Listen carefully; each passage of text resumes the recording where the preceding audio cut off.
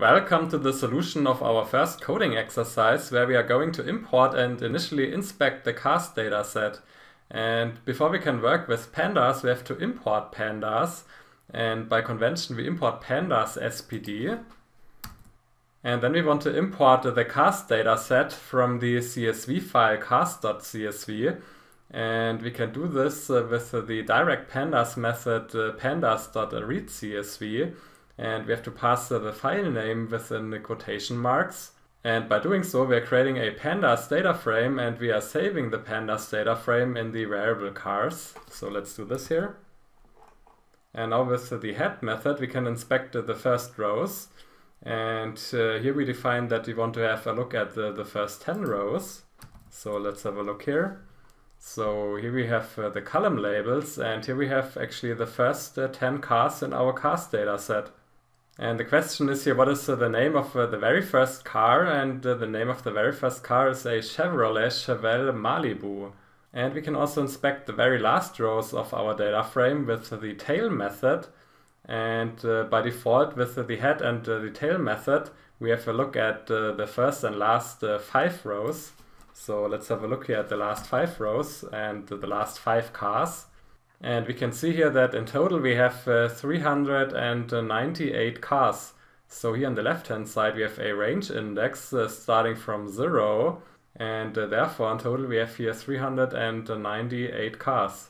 And we can also get some uh, meter information on our data frame with uh, the info method. And here we can see that in total we have uh, 398 rows and 9 columns. And we can see here in the column horsepower that actually here we have uh, six uh, missing values. So we have only 392 uh, non-missing values. And also we can get some summary statistics on our numerical columns with uh, the describe method.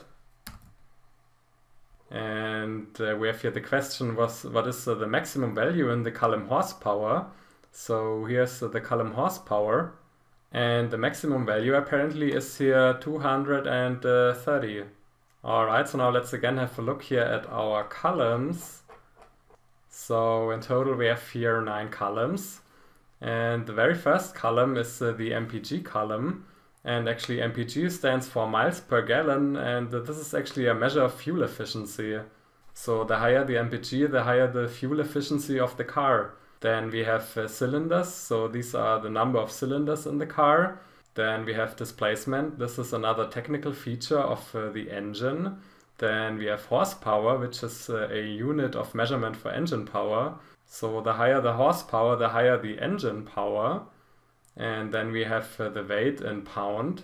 Then we have the acceleration, which is actually the time to accelerate from 0 to 60 miles per hour in seconds. Then we have uh, the model year and the origin of uh, the car or the manufacturer. And in total, we have here um, cars from United States, uh, Europe, and Japan. So we will see this later. And last but not least, we have uh, the car name or the model name. And in total, we have here cars uh, with uh, the model year from 1970 till 1982.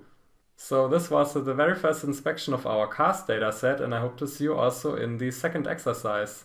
Bye.